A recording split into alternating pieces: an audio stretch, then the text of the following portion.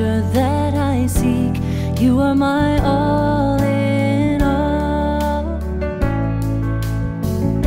Seeking you as a precious jewel, Lord, to give up I'd be a fool. You are my all in all. Hi guys, welcome back to my YouTube channel. So in today's video, I'm going to be sharing my keto journey diet with you guys. So if you don't know what a keto diet is, it's actually a low carb, high fat diet.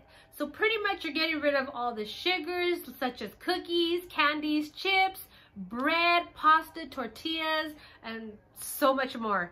And then you're kind of replacing it with uh, more fats such as avocados, cheese, meat, eggs, dairy. I mean, there's so much more. So I'm going to go through with you guys as I take you guys through my journey on my four week journey as I dieted for four weeks. I'm going to share what the results were, what I ate, what I meal prepped, um, how I did it, and then I'm going to give you the results at the end of the video. That's going to tell you guys how much weight I lost in one month. The reason why I only journaled one month is because me and my family were planning on going on vacation um, at the beginning of July, and so I wanted to make sure I did four weeks so I can um, write it down for you guys, journal it, and then be able to share it. Um, and then you decide, you know, is this something that I want to do? Because I really encourage this diet but again, it's not for everyone. Why I choose the basic keto diet is one, because it works for me. Um, I always tell people about this diet and they always respond with, oh, heck no, there's no way that I can be able to do it. You know, because a lot of people don't want to let go of the sugar, the cookies, the candies, the pasta, the bread, you know, but again, this is something that worked for me. Um, I love this diet. Me and my husband do it. Um, we have different effects on this diet, me and my husband, because it does take an effect on you in certain ways. So it just depends. Like I said, this diet is not for everyone. Um, dieting is the story of my life. I'm constantly dieting and how I know that it's time for me to go on a diet is because my pants don't fit. So that's when I know, like, no, there's no way that I'm going to go up to a bigger size. I need to diet. And so that's what um, I do. This is something that me and my husband decided to do. Um, he's also on it with me too, but I didn't track his weight. I just, you know, um, we both know that we needed to lose some weight. And so in order for us to do that, because I do all the cooking, um, I'm the one who meal preps and stuff, you know, whatever diet I go on, he's always for it because he knows I'm going to meal prep and help him, you know, and so he's also wanting to get on a diet, so we decided to go on our diet. So I'm going to start off by saying that um, I can honestly say that one of the hardest things for me when I start this diet is the first two days. Why? Because I completely let all the sugar go. So for some people, they do it slowly, but for me, I do it just, I just want to do it and get it over with. So I completely let everything go, especially my coffee, because my coffee, I don't just put coffee and creamer, I also put sugar. So that's what gets me through my day, you know, but that's one of I want to say is the hardest things for me is letting go of the coffee, literally letting go of all the sugar.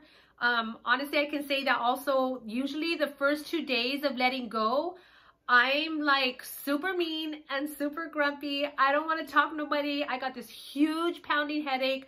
So I normally just stay away from everybody. I try to go to bed early and I warn my family because I'm just not me in those two days. So if some of you guys know that, then you'll get me when I say this. So yeah, so that's one of the hardest things I can say is the first two days of jumping on keto is one of the hardest. Okay, so let me go ahead and start taking you guys through your week and what it looks like for me. So if this is something that you want to do, you'll be able to look at this video and say, okay, I can do that.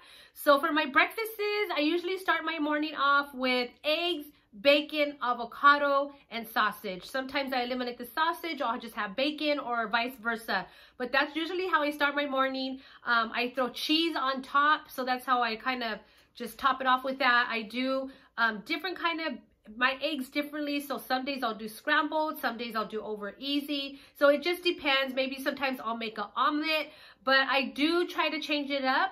So that's what it normally looks like throughout the week. It's easier for me to just cook it up right before I go to work and then be able to just go on with my morning. Um, sometimes on the weekends, because I'm busy or because I want to get creative and I have more time, I'll make muffins. They're called breakfast muffins.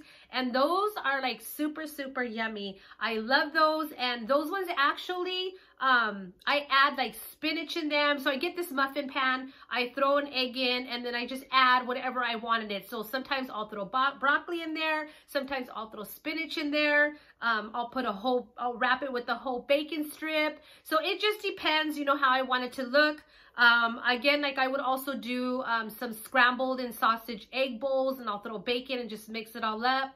Sometimes I even do chorizo and then I'll just have some sour cream on the side. So that's also like just changing it up so you're not always eating the same thing.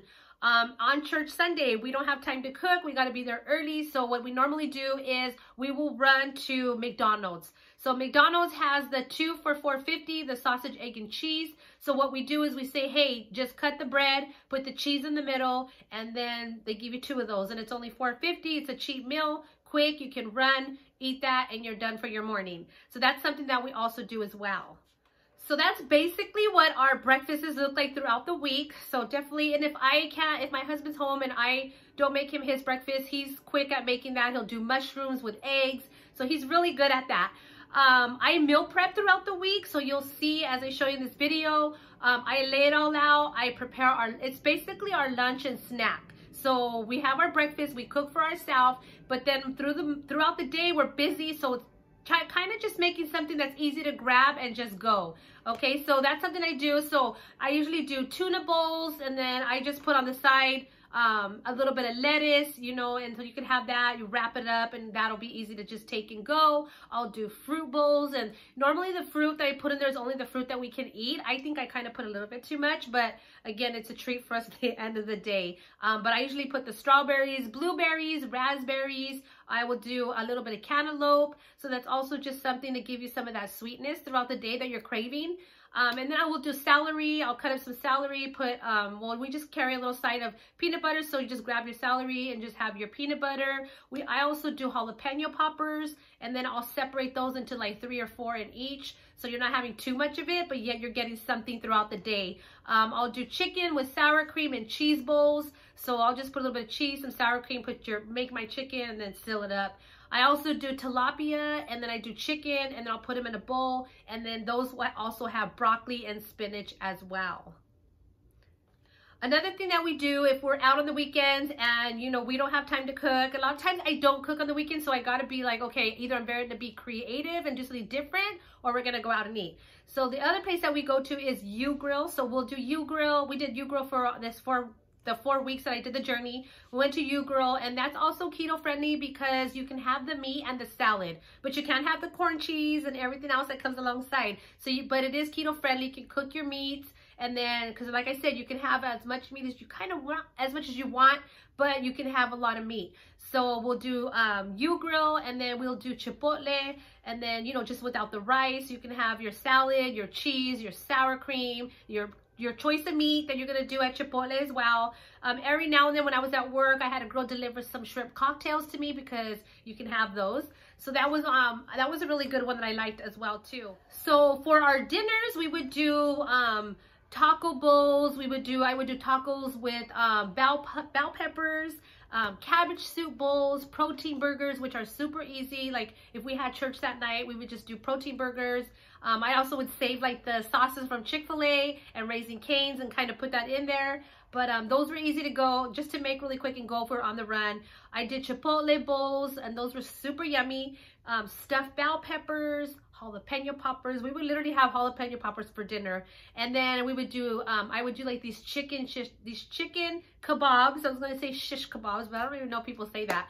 But I would do chicken kebabs, and those are really good because we just, I would just put a few bell peppers and then the chicken and then a piece of pineapple and then so those are really good and just you know just uh, marinated in teriyaki or whatever seasonings I had and then we would do um, well when I say we I'm talking about me and my husband um, but I'm the one who does all the cooking so I would do the chicken stuffed cream cheese and spinach. So I would get a chicken, slice in the middle, and stuff it with cream cheese and spinach, and then just bake it. And that was really, really good.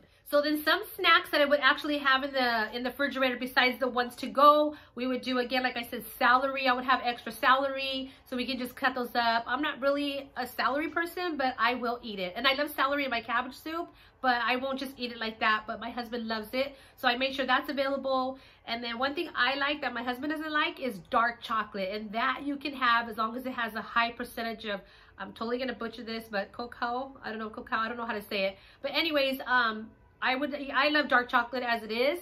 So I would get strawberries because we can have strawberries and I would just drizzle some chocolate on it. And mm, that was like the best snack ever. So that helped me, at, especially at night when I had like a little craving. Um, that would be perfect for me. And my husband loves the pepperoni bites. So I would just keep a package of pepperoni in there and he would just kind of bite at those. Um, one of the other things too that um, I like, my husband doesn't care for. So again, I have to keep different stuff in my refrigerator that we can just kind of grab, you know, and be able to just chew along the way. Um, what I like is just getting um, turkey slices and then you get mayonnaise and you just kind of spread it on, which mayonnaise is high in fat. Um, and then just roll it up and I would just just munch on those and those are so so good um, another thing was um, that we we like to buy a lot is also chicharrones.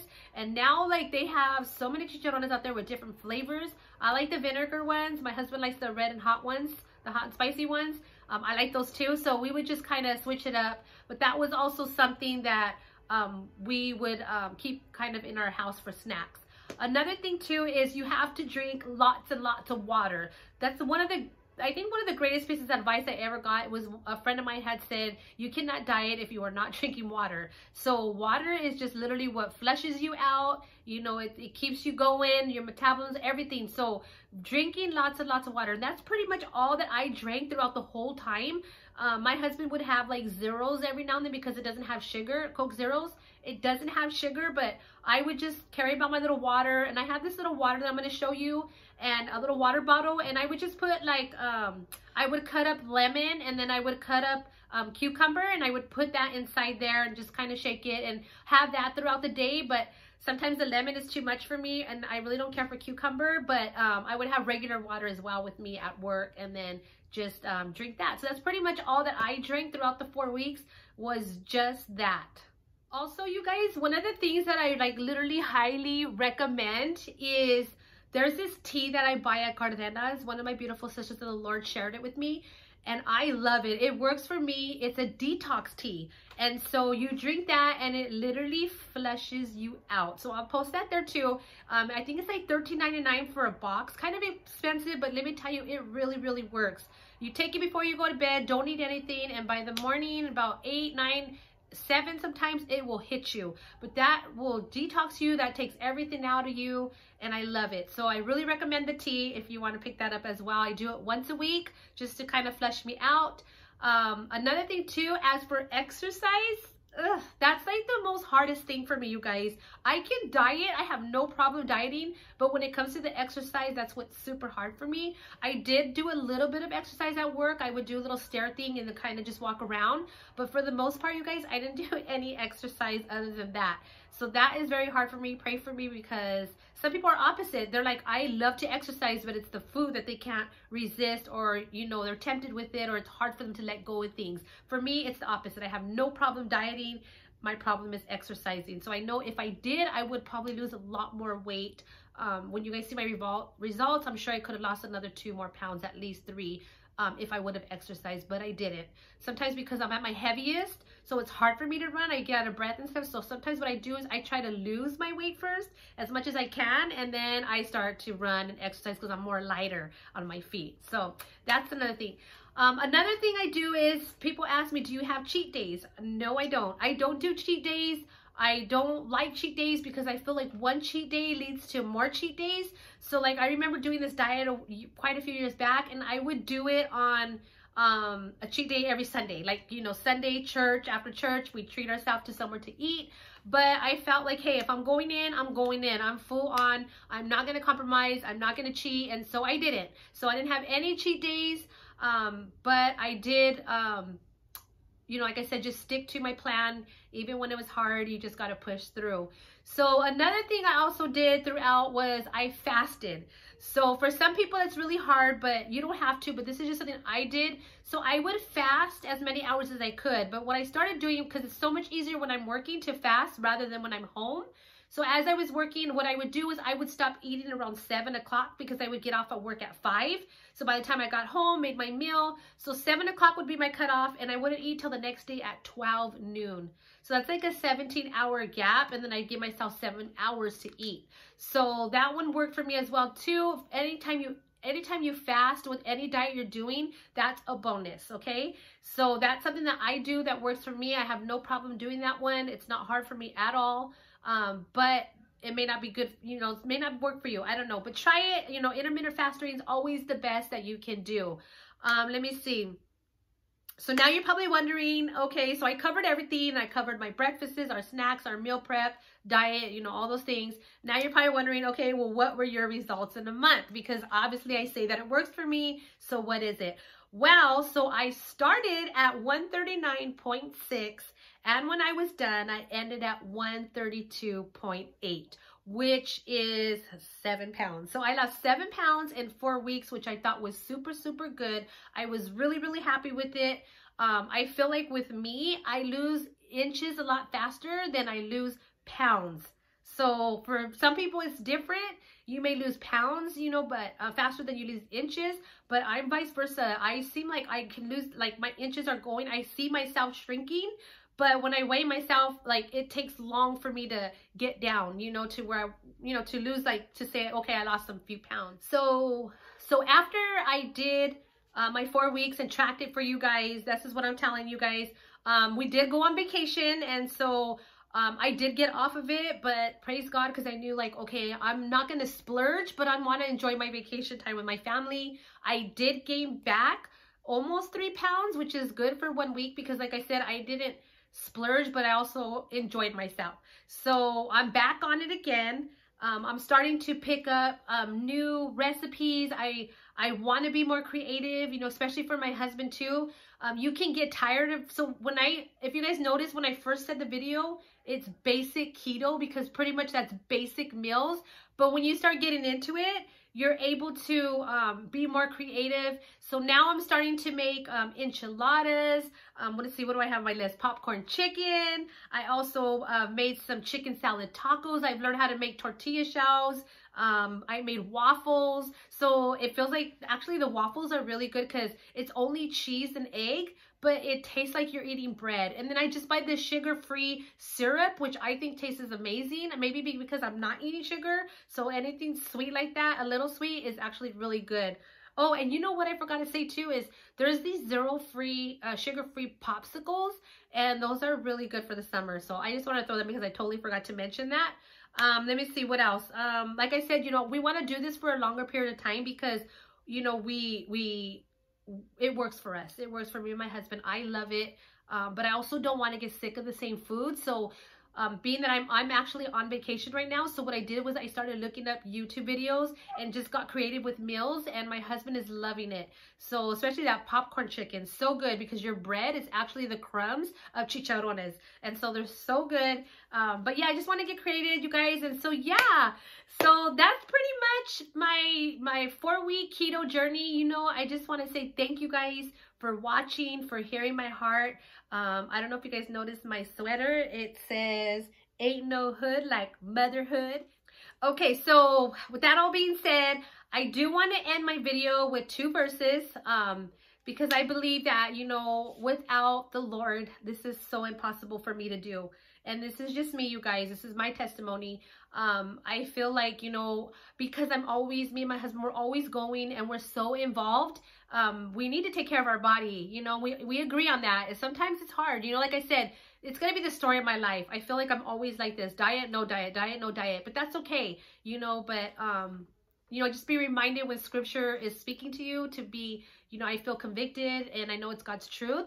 But I just want to read to you guys a few scriptures. First Corinthians 6, 19 to 20. It says, Do you not know that your bodies are temples of the Holy Spirit who is in you, whom you have received from God? You are not your own. You were bought at a price. Therefore, honor God, honor God with your bodies. Um, again, you know, I always, like I say, you know, it's scripture that changes us and transform us, you know, from the inside out. And so God is saying, you know, be a good steward with your body. You know, I've given it to you. The spirit lives within you. Take care of it. You know, honor yourself. Take care of your body. And then I think, okay, Lord, like I want to take care of my body, you know, and I know what your word says. And then Christ, and then God reminds us in Philippians 14, it says, I can do all things through Christ who strengthens me. Lord, I want to continue the mission that you've called me on.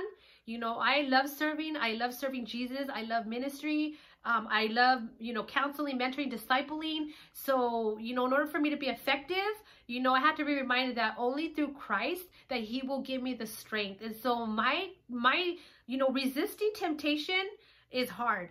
But when I think about what the Lord has given me, this body, I want to be a good steward. And so in order to do that, you know, you got to ask for the Lord's strength because if I run on my own flesh, my own self, I will fall into temptation. I will eat cookies, candies, chips, sugar, all these things, and then I'll be 600 pounds heavier, you know, being dr dramatic here. But, you know, if we just be reminded of scripture, what does scripture tell us? How can we apply it in our lives, you know, and then let God do what he has to do in us. So, yeah, so that's just something I want to share with you guys, a few verses. I hope that you were encouraged.